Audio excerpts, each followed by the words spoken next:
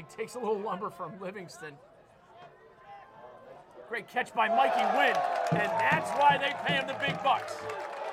Mikey Wynne. Headed to F&M. Oh, Mikey Wynne might bury that. And I got to feel pretty good with Mike Wynne at uh, eight yards. yeah, Right in the middle of the field, by the way. Wynne in transition. Comes off some pick action, comes up shot goal. Mikey Wynne, third goal of the day. He's on the 3G network.